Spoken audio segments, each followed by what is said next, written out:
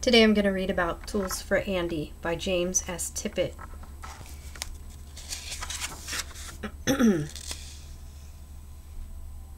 Pictures by Kay Draper. Copyrighted 1951. I'm not sure if I'm going to read the whole book today. I might get halfway through because it's a 46 page book. We're going to talk about hammer, screwdriver, wrench, shovel, saw, pliers, plane, paintbrush, and more tools for Andy.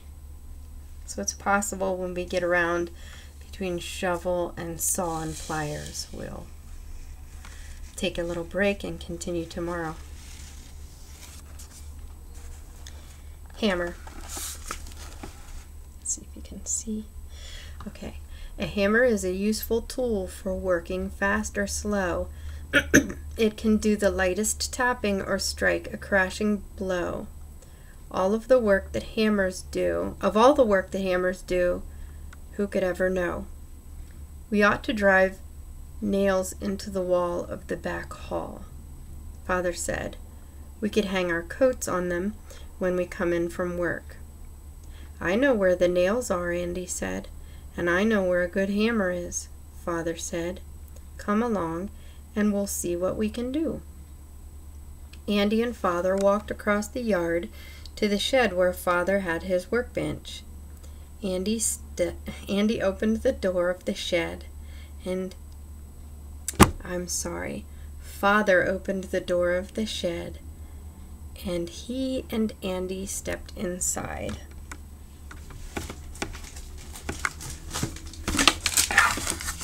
I need to rest my hand.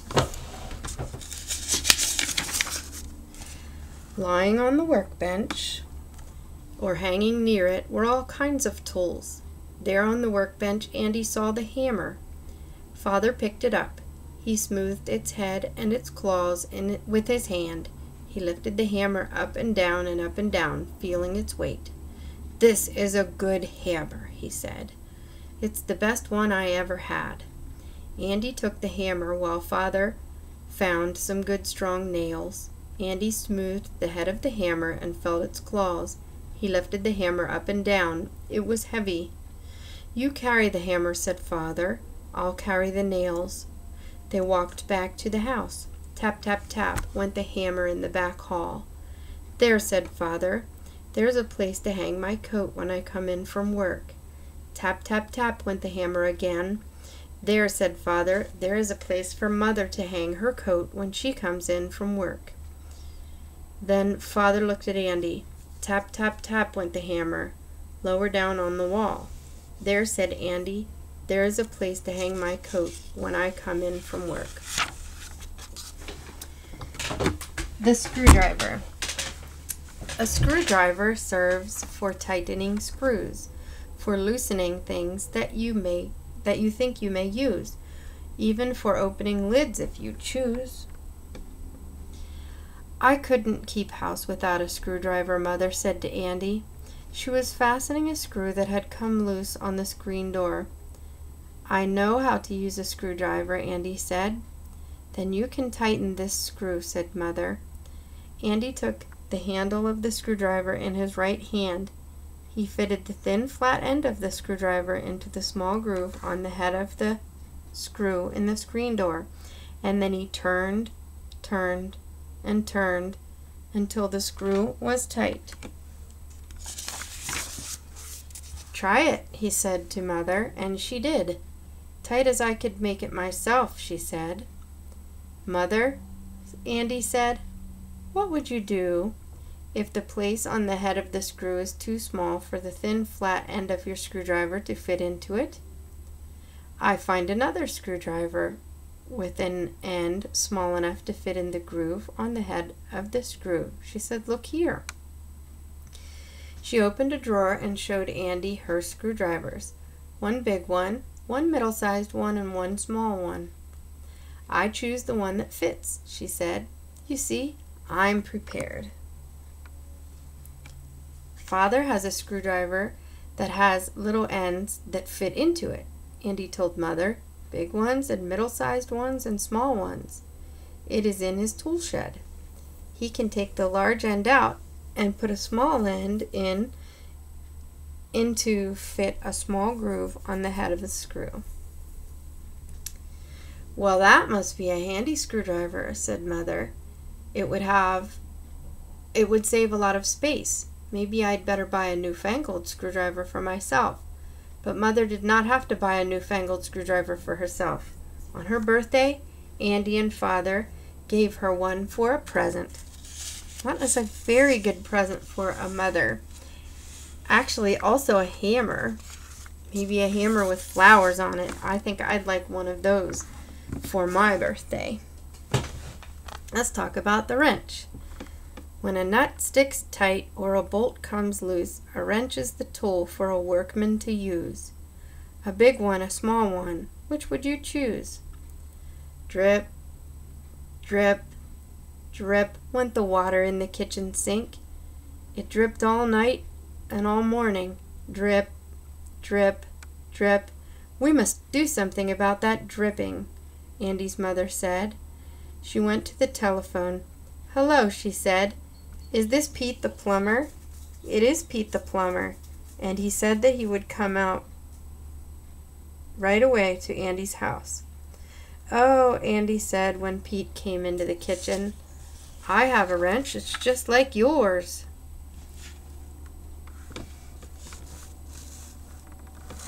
What a sweet little picture. Then why don't you stop the water from dripping? Pete, the plumber, asked. But when Andy showed him his wrench, Pete said, Oh, now I see why.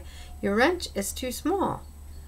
Pete the plumber handed Andy's small wrench back to him. Then Pete went into the basement and turned off the water. The dripping stopped. But my job isn't finished yet, Pete the plumber said. If that were the end of my job, the dripping would stop, but you wouldn't have any water in your house. Andy followed Pete back into the kitchen. Pete went to the sink. He took his big wrench in one hand and he tried it on the faucet. Too big, he said.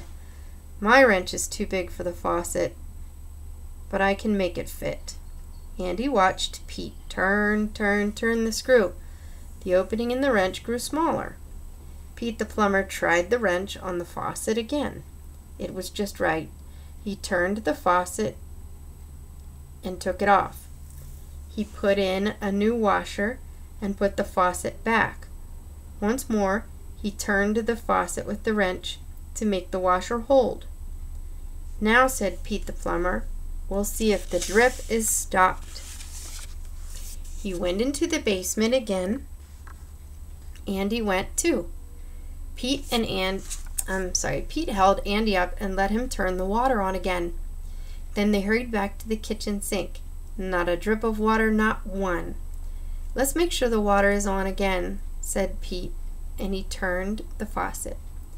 Swish, swish, splash, splash. The water rushed out of the faucet. Pete turned the faucet again, and the water stopped rushing out, and not a drop of water came dripping, drip, drip. Not one. Pete the plumber and his wrench had done the work. Thank you, said Andy's mother. You're welcome, said Pete the plumber. He looked at Andy just before he closed the kitchen door. You'll soon be big enough to use a big wrench, he said. Then your mother won't need to call a plumber when the water starts to drip. With a wrench of the right size and someone who knows how to use it in every house, plumbers wouldn't have jobs like this to do. Pete the plumber said goodbye and closed the door and went away. This is where I'd like to stop and talk about the activity that I thought of today. I really think that it's important, if you have permission, that when people come to work on things at your house, that you may sit and watch them. You can learn so much from watching. Sometimes people are nice enough to let you ask questions, and like Pete the plumber, to show you what they're doing and to tell you about what they're doing. Several of my sons enjoyed tagging along when someone was doing electrical or plumbing or uh, working with our furnace. Anything. I used to like to watch people put in carpet and linoleum. at my parents' house. And then each one of us, just by watching and sometimes asking questions and a little learning on our own, learned how to do many things around the house. I don't think that all of the plumbers should go out of business from not having work because everyone knows how to be a plumber. But it is good know, to know how to do some things around the house. Perhaps you have a mother or father who's really good at doing things around the house and working with their hands. Then you have a real treasure and you should really watch what they do. Okay, back to our tools. If you hold a shovel tightly by its handle in your hand, you can move a pile of cinders or a wagon load of sand. You can even dig out bushes from places where they stand. Yes, said father, we're going to dig the post holes and set the posts for the picket fence this afternoon. How can we dig post holes? Andy asked. With my long handled shovel, father said. Oh, Andy said, I have a shovel too. I'll bring it. Father nodded. You bring your shovel, and I'll get mine, and the posts too. Father went away whistling. Andy went away whistling. He got his shovel back. Mm, sorry. He got his shovel from the back hall and carried it to the place where the holes would be. And Andy's dog Sniffer went along with him. Father had the posts all ready when Andy got there with his shovel. They were laid out where the holes would be. Father was a fast worker. Well, well, well, Sniffer, Father said. Have you come to help us dig post holes? Sniffer didn't say a word, but he followed Father and Andy when they went to put the stake where the first post hole would be. Now we'll see how this shovel works for digging post holes, said Father. First he marked with his shovel around the stake where the hole was to be. After that he took the stake out, and then he began to dig. Sniffer was right behind him, and Andy was right in front of him. When the dirt was loose, Father threw it out of the hole with the shovel. Now he asked Andy, Do you see how to dig post holes? But before Andy could say yes, Sniffer jumped into the hole and began to dig as fast as he could. He made the dirt fly. Well, it's too bad I don't have paws like Sniffer, said Father. Then I wouldn't need a shovel. But he made Sniffer get away from the post holes. He wanted to dig all the holes and set the posts that afternoon. Down went the shovel. Huh, said Father. Then he shoveled the dirt out. Down, down, down he dug. Andy began to dig a post hole with his shovel, too, but he didn't dig as fast as Father. When he went over to see the post hole that Father was digging, it looked very deep. Andy jumped into the hole. It was halfway up to his neck. And that's deep enough, Father said. Mother came out with her little camera and she took a picture of Father and Andy and Sniffer digging post holes. Andy held each post while Father filled the earth in around it. And Andy helped Father pack the earth down around the posts. At last all the posts were set into the holes, and the earth was packed around them. We can put up the pickets for the fence tomorrow, Father said. He put his shovel over his shoulder and went to the tool shed. Sniffer went along with Andy to the back hall where Andy kept his small shovel.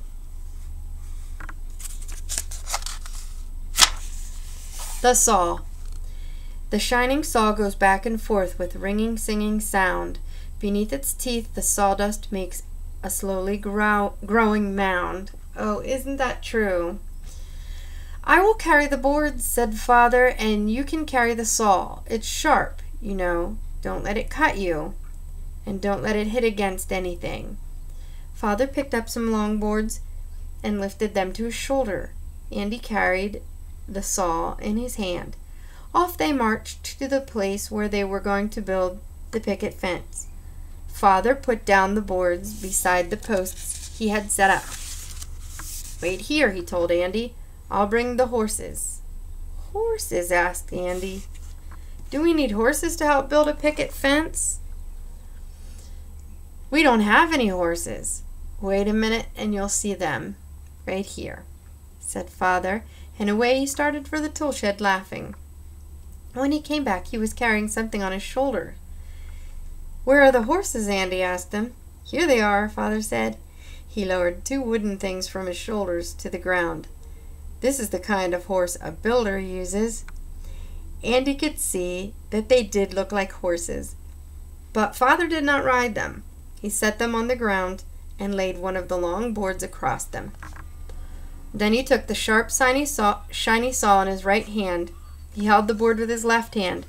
Zim, zim, that sharp saw. Zim, zim, said the shine, shiny saw. A picket was ready for the new fence. Zim, zim, the sharp saw. Zim, zim, said the shiny saw. Another picket was ready. Andy placed the pickets in a pile, and the pile grew higher and higher. Hang on.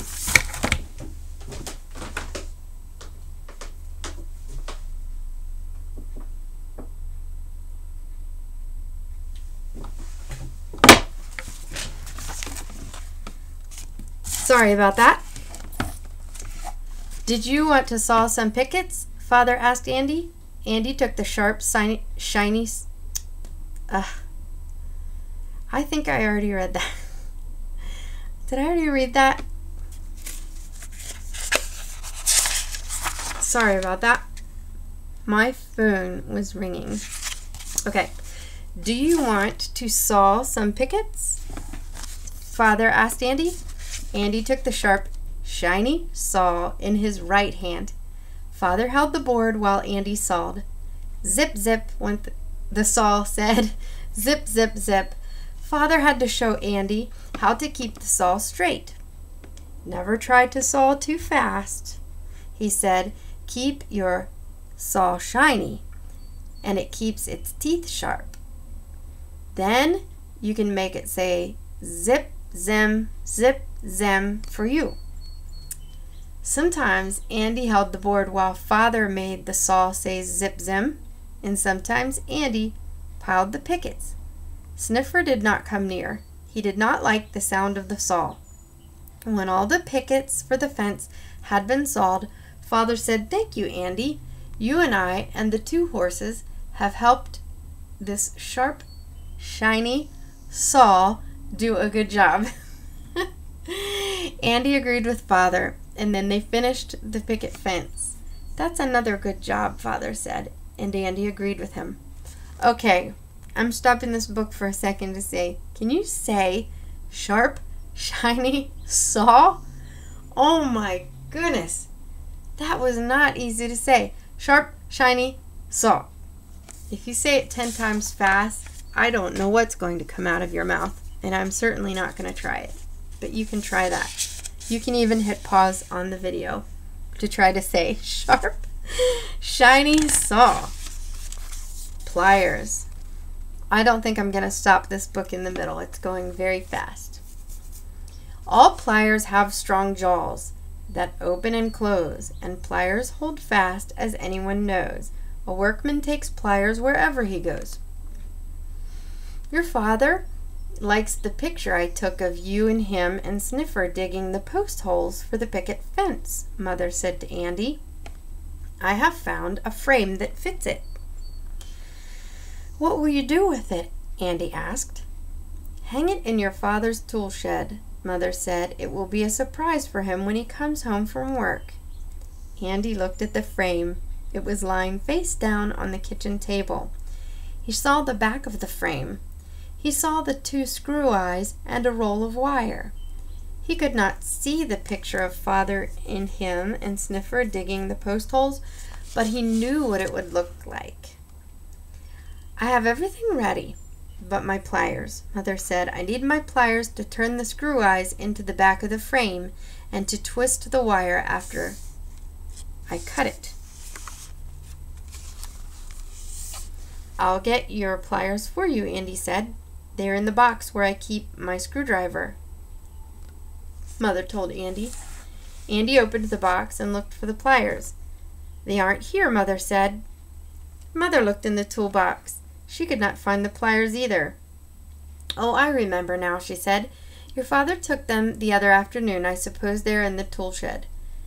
Then we can't get them, Andy said. Father never leaves his tool shed unlocked when he goes away. Mother nodded. I know, said Andy. We could use my toy pliers. They don't cut wire the way yours do, but I can twist the wire and turn the screws with them. So it looks like Mother's cutting the wire with some scissors. That's going to be awfully hard on the scissors. But they're being resourceful. Sometimes you can turn a screw eye by putting a small screwdriver in it and turning that around and around as if you are winding the dial on a game or um, the spinner on a game. But you can see this set of pliers looks like they have a wire cutter in them. Okay, back to our story. I can cut the wire with an old pair of scissors, Mother said. I'll do it while you get the pliers. Andy came back with his toy pliers. Mother was having a hard time cutting the wire with the old pair of scissors. If my pliers had a place for cutting wire on them, you wouldn't need yours, Andy said to her. I think I won't need them anyhow, Mother said. She showed Andy that the old scissors had finally cut the wire. Then she took Andy's toy pliers and started the screw into the wood of the frame. Turn, turn, turn. The toy pliers tightened the screw eyes on both side of the frame. Sides of the frame. Then Mother put the wire through the eye screws. She twisted the ends with the pliers. She held up the frame by the wire. Now Andy could see the picture of Father and Sniffer and him digging post holes. There, said Mother. Father will like it better than ever when we hang it in his tool shed. I'll tell him that you that he has your pliers there, Andy said. We can't use tools if they're locked up in a tool shed. I wonder how they got the picture into the tool shed if the tool shed was locked. I wonder if we're going to find about out about that later in the book. The plane. Shoof goes the plane, and a shaving is cut and the plane slides over its tracks. Shoof goes the plane, and the shavings curl, while the plane slides back and forth, or while, while the plane slides forward and back. Father stood at the workbench. He took up a board.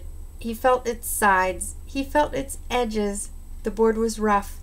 Father put it on the workbench. Andy watched him. Then Father took his shiny plane. He rubbed his hand over the shiny surface. He felt the sharp edge of its blade very carefully. He held its handle in his right hand. With his left hand he held the little knob on top of the plane. He put the shiny plane on the rough board. Father pulled his plane forward with his right hand. Push, push, push. The plane went forward. Pull, pull, pull. It came back. Shoof, shoof. Shoof went the tiny plane until the rough board was smooth. Curl, curl, curl came the shavings to the floor.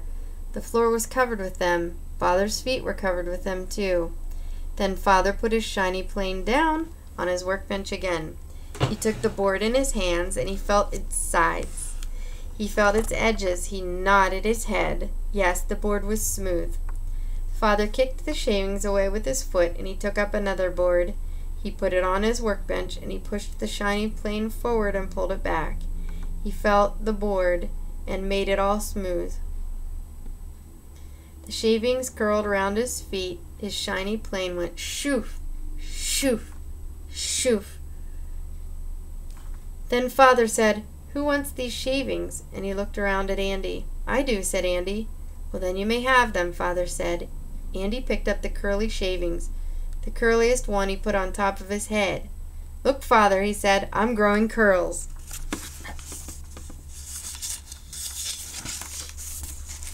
Paintbrush.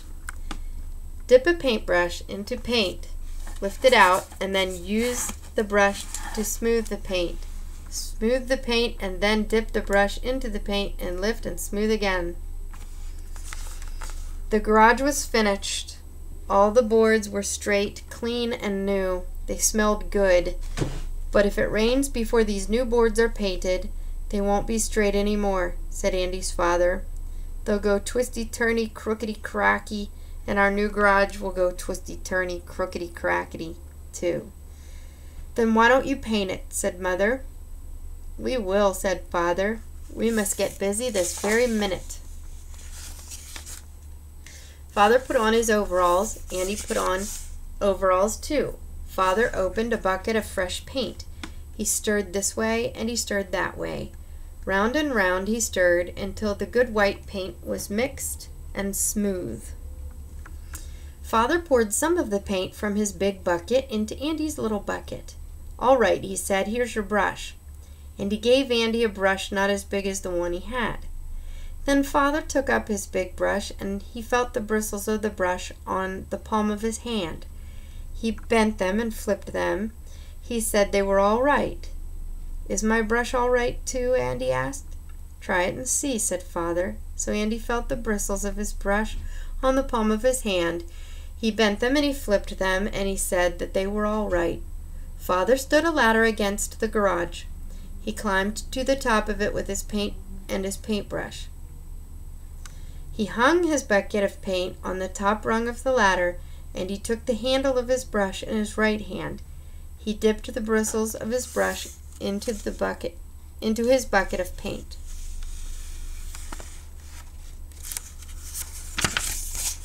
His hand went up and down. He dipped and smoothed, he dipped and smoothed, and the wall of the new garage grew white. Andy watched his father for a while, and then he said, Watch me. Andy set his bucket of paint on the ground near the garage. He dipped the bristles of his paintbrush into his paint. His right hand went up and down. He dipped, he smoothed, he dipped, he smoothed, and that part of the garage, the wall grew white. Father held his paintbrush in his hand and he watched Andy paint. He nodded his head yes and said, You're all right. You know how to hold a paintbrush when you paint. You don't scrub it around and around. You smooth the paint with it. Go ahead. So Andy and his father painted the garage. When all the straight new boards had been covered with paint, Father and Andy cleaned their paintbrushes and put them away. They cleaned their hands and went to look at the garage. Mother came out of the house to look at it. She said, That garage is so smooth and white, it almost hurts my eyes to look at it. Father looked at Andy and said, Our good paintbrushes did it. We just did that at my house. My third son and my husband painted the side of our garage, and it did look striking white. Here's the last section more tools for Andy. Andy was awake early on the morning of his birthday. But father and mother were awake earlier. Happy birthday, they called. Here, Andy, mother said. This key is part of your birth our birthday present to you. It unlocks this box, father said. Andy saw the box. The box was long and flat, painted in colors he liked. On top of the box was printed Tools for Andy. Oh, Andy said, and he unlocked the box with the key that Mother had handed him. Oh, oh, oh, he said. And Andy took eight packages out of the toolbox. He unwrapped the first package. There was a pair of pliers with a place for cutting wire. He unwrapped the second package and took out a screwdriver with a handle and many different sized ends. The third package held a hammer with a head that was a magnet. The fourth package held a small plane. In the next two packages were different sized saws. The seventh package held some middle sized paintbrushes. And out of the last package came a wrench that was almost as big as Pete's wrench. Andy laid the new tools one by one in the painted toolbox with his name on it. Thank you, thank you, he said to father and mother. Thank you for my new tools. Thank you a million times. Now I will be a workman like Father and Pete. Now I can help do all kinds of work. The end.